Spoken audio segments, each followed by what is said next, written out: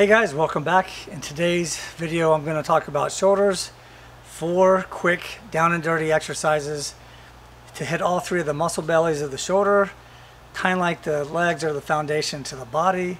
The shoulder is the foundation to the arms. So if the shoulders are weak, you really increase the risk of injury to that joint by when you work biceps, chest, triceps. So you really want to have strong shoulders and keep that muscle head really strong and secure. Takes pressure off the rotator cuff. And by keeping pressure off the rotator cuff, your shoulders will thank you. It'll be a much healthier, safer experience working out. Because once you get shoulder problems, it is really hard to fix. Because even if you have to have surgery, there's no guarantee that it's going to be better for your shoulder. So uh, let me show you these exercises and uh, let me know in the comment box below what you think.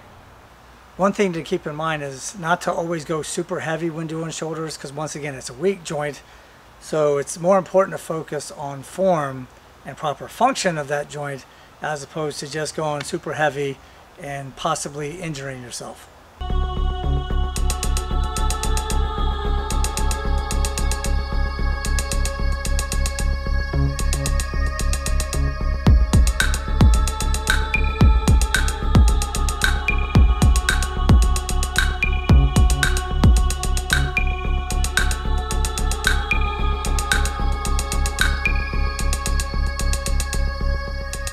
For the front raise, you want to keep your core tight, legs staggered. That helps protect the lower back.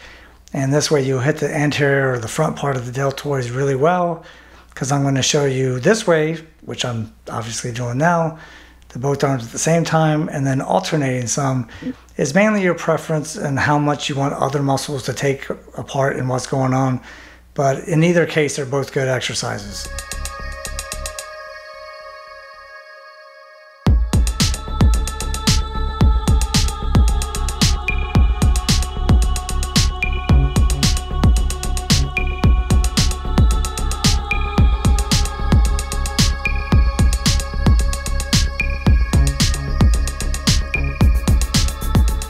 Know what you're thinking. Shoulders suck. Well, I don't know if that's what you're thinking, but that's what I think. I don't like doing shoulders, but I do them anyway. So kind of like any other body part that you may not like to lift, you still got to do it. No body part left behind, so all of them are important. Got to do it. Um, once again, it's not my most favorite because it's uncomfortable. Uh, and it gets that lactic acid burn and it just crushes you morally and I don't know, just kills your confidence. I've gotten better at it, I've gotten stronger at it, and I know my shoulders thank me because I don't have shoulder issues. So that's the way you want to be. No shoulder issues. But you got to fight through the pain, not the pain of the shoulder, pain of the muscle burn. So uh, get to it. I want to hear what your results are. For the bent over row for the rear delt, it's really important to stay stable. So I'm using one hand on my knee. You could use a bench, whatever's handy whether it's at the gym or at home, and really try not to swing too much. So that way it hits the rear delt, which is pretty much the weakest part of the shoulder if you compare it to the front delt and the side delt. Uh, the rear delt is by far the weakest.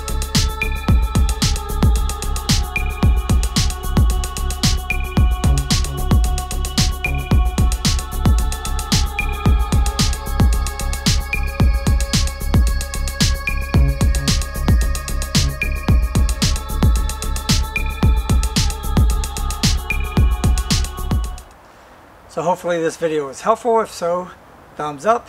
I appreciate it. It also helps my channel, not just the video and how it performs, but uh, any ideas you guys might have, don't be shy. You can put in the comment box below. Uh, it's not like I'm going to run out of ideas, but I'd like to make videos that you want to see.